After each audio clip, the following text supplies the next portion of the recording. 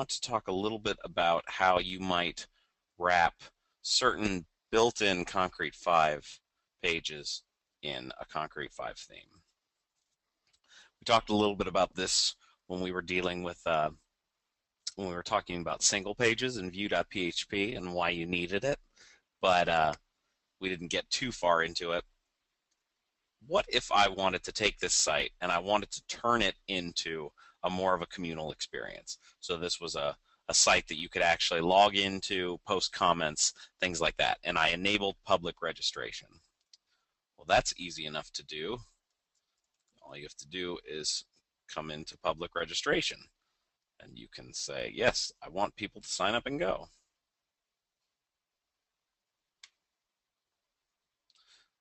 So now, if I come into my site and I come to index.php slash register, and it's up to you to actually code a link to that, you could actually sign in, create an account, sign up.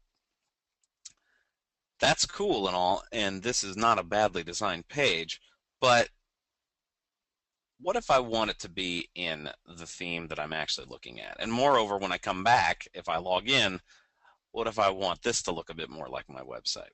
Well, what I'm going to want to do there is I want to modify my website's theme by path. So there, as you can see, there are a number of special pages in Concrete 5 that are set up to use the, the built-in white core theme um, regardless of what theme that you have for your site. And the reason we did that was because we wanted to ensure that those pages looked good out of the gate. Um, now that doesn't mean you can't customize them and make them look exactly how you'd like them to. Um, it just means that we didn't want to default to using your own theme um, and potentially give you a, a ugly experience right out of the gate. So what you can do is if you take a look at the site theme paths file in your root config directory, there are there's already some commented out code that should give you an example of what you might want to do. So what we're going to do is we're going to uncomment that. And you can see right here, here are three pages by default that use the built-in theme that we might change to use the darkness theme. And this is just the handle of the theme. So now when I come back to login, it looks pretty good. Now, it's not perfect. There's some odd spacing here. So let's take a look at what type of spacing we're dealing with. Looks like our the different sections of our site start with uh, there's two different forms and there's also some H3s some H1s. So what we're going to do is we're going to give this H3 some padding here. But we don't want to do it all the time. So we're going to actually, what are we going to do? How are we going to do this? We're going to give this some padding when you are, um, hmm, what's the best way to do this? So what I'm struggling with right now is figuring out how to give H3 padding that it will affect it on the login page, but not affect it elsewhere.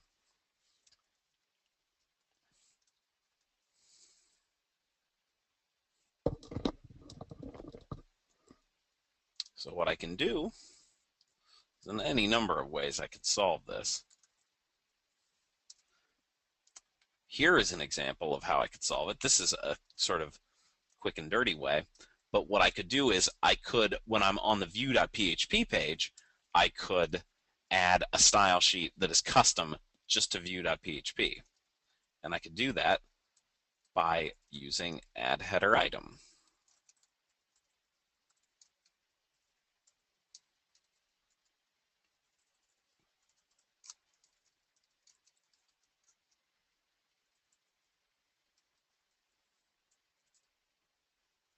uh, what would be a good example for this?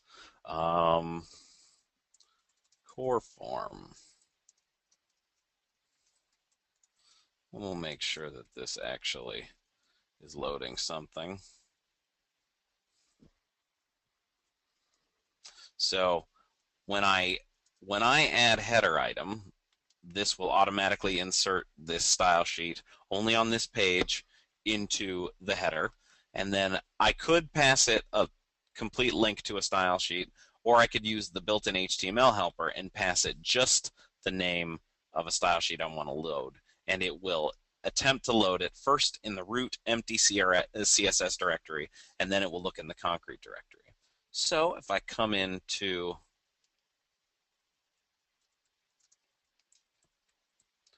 the CSS directory and I make a file named coreform.css, if we refresh this page, you'll see now it is, should be, well, it doesn't appear to be actually.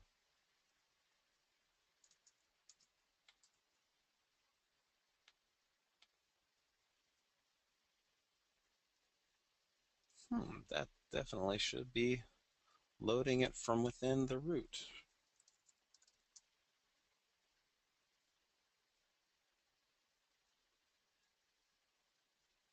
That's odd. Well, I can also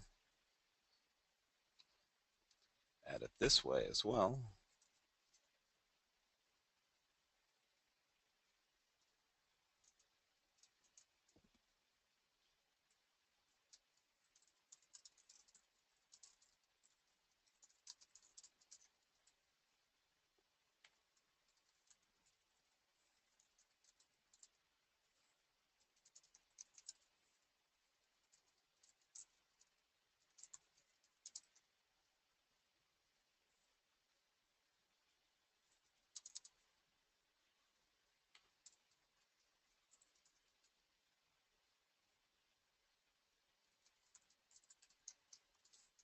I don't know if that's the right syntax off the top of my head.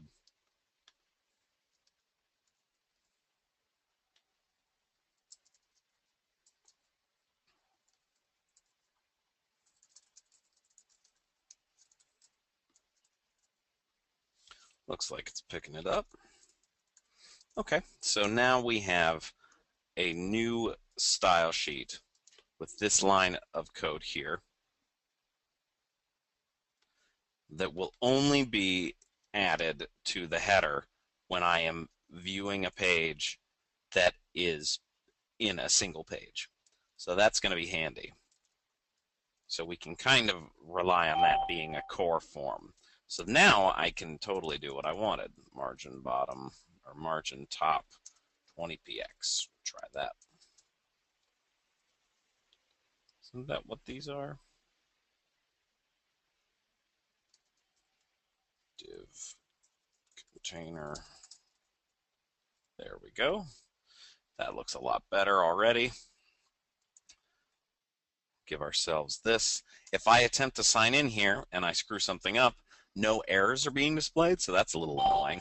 One thing that we need to make sure that we do is that we grab some of the functionality of the core um, concrete theme here we need to make sure that we include this element above our inner content. That can be found within the concrete theme in the core directory.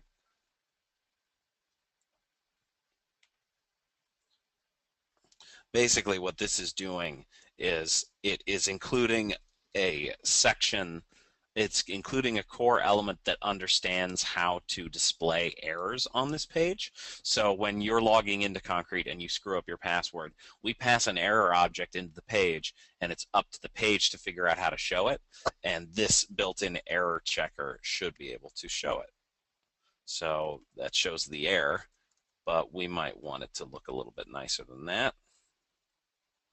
So what is this using? It gives something called alert message error. I'm going to change this format. There we go. That looks much better. So now we have something that will work. And if I enter this in there that's wrong, it gives me a valid email address. I've basically built my login form to look uh, nice in my site at this point. And of course, since it's the same single page and controller, it all still works exactly the same way. It's just being wrapped in a completely different theme. And now register works the same way too. This is not the most beautiful registration form, but it'll do. I might want some additional padding here. So looks like we've got ourselves we've got ourselves a div named clearfix here. So I'm going to give this some padding. Margin bottom 10px.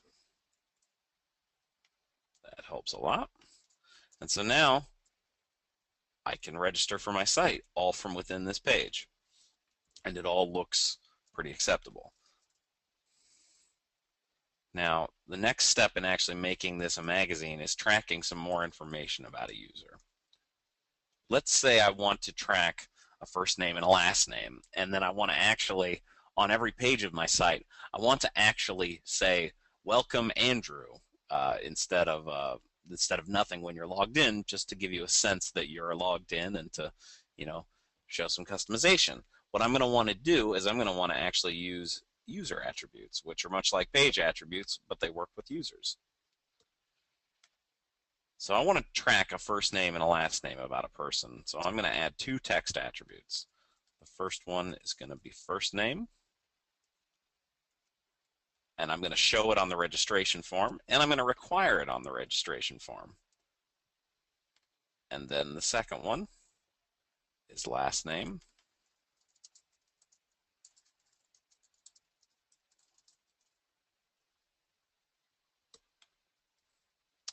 And then I want to reorder these attributes so that they show up nicely.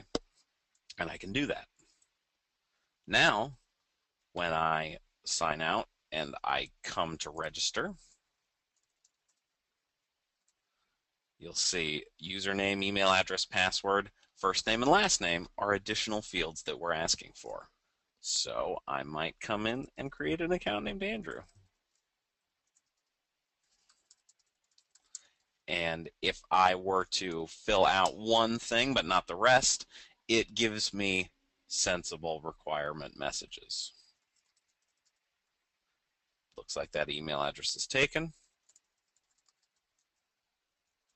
Fill it out with something else. I can turn off these. And then the moment I register, it says your account has been created and you are now logged in. And this is all happening from within the register single page, which again is something that is being piped through our theme now. So it all looks like it's our theme. And if I come back to the home page, you can't really tell because I don't have a, I'm a new user account and I don't have any edit access to anything, but I am logged in um, to the site. So if we wanted to perhaps make it more obvious that I was logged into the site, I might come in to the header and open this up. Let's say we want to add something. Let's say we want to add something uh, right aligned to the top here in this nav area. So we'll do this. First, we need to check to see if I'm logged in. Of course, the same code is being served to registered users and unregistered users. So you're going to need to check to see if the user is registered. And that is simple. You just instantiate a new copy of the user object which is the uh, sort of the object we use to check to see if whoever's looking at this page is logged in or not. If they're logged in, they will get inside this bit of code. Then, what we want to do is we want to get a copy of the user info object. Not to be confused with the user object, the user info object is able to get info about a user. It's just, just that simple. Then we add in some code we'll call uh, top welcome. Welcome. And then we want to give, we want to put their first name in bold. So we take the user info object and we run the same exact code that we ran for the page. Attributes.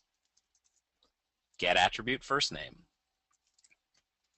Finally, we add our top welcome in here.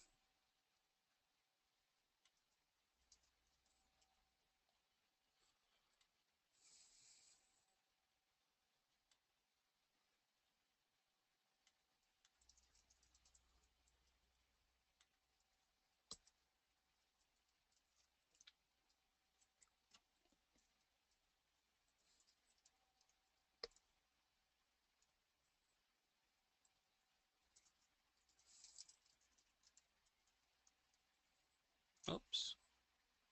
Looks like I've got myself an error. What did I do wrong? Looks like I have an extra trailing PHP thing there. You can see that Welcome Andrew is showing up, which is nice. I now know that I am in fact logged in, which is handy. And I can add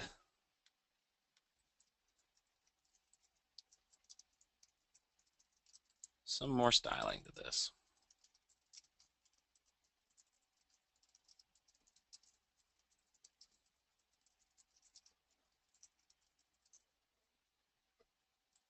And let's give it a negative top position.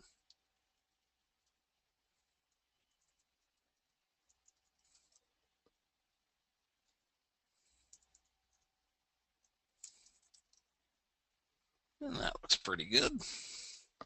So now you can actually have that travel along with you along the site. And you know that you're logged in and everything's very handy. So that is a quick and dirty way to make it so that different uh, different pages look good in your theme, and that's basically you know it's it's pretty typical PHP and CSS stuff. You know, you're you're tweaking things and you have to write CSS for existing HTML and the best way to do that typically is to look at the HTML that we're generating and then add in your own custom rules to position things how you see fit. Um, but again, like when we look at our own website, a, a site like this, um, this is all custom view it's you know we have not changed anything tremendously about this. We just we just rewrote.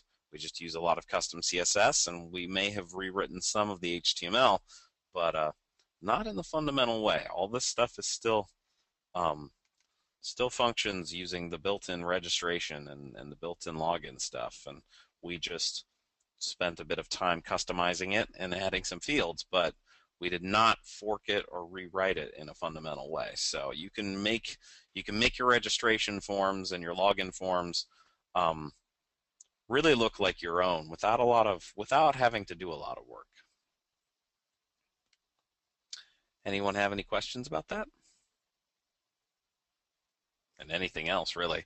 We're about to the end of uh, the advanced theme topics, but uh, you know it's only been an hour and 20 minutes, and I'd like to at least keep it going for another 15 minutes or so. So I'd be happy to take any kinds of questions that you guys have, and if you want to take a look at more uh, custom templates or anything on the, of that nature.